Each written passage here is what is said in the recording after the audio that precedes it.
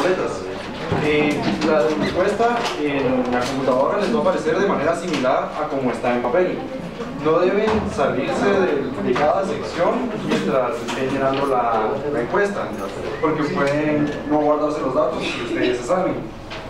Eh, si se confundieron en alguna parte y ya pasaron de sección, tienen que esperar a que, a que terminen de ingresarla y se la dan a alguno de los encargados para, para que la edite y le dicen cuál fue el error. Eh, si alguno de los datos no se encuentra en la boleta física, deben preguntarle a alguno de nosotros qué se debe colocar para, para que deje ingresarlos. Si no se completa alguno de los campos obligatorios, no los va a dejar completar la encuesta. ¿Ok? Eh, ahorita les voy a explicar cómo deben ingresarla y luego les vamos a pasar una boleta y vamos a llenar una todos juntos.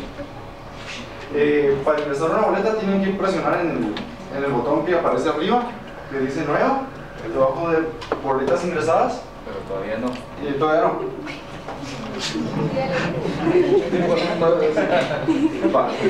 Solo, si ya le dieron clic nueva, ahí quédense, no vayan a, a seguir. Ok, eh, entonces de ahí les va a aparecer lo- los primeros datos que aparecen en el encabezado de la boleta física.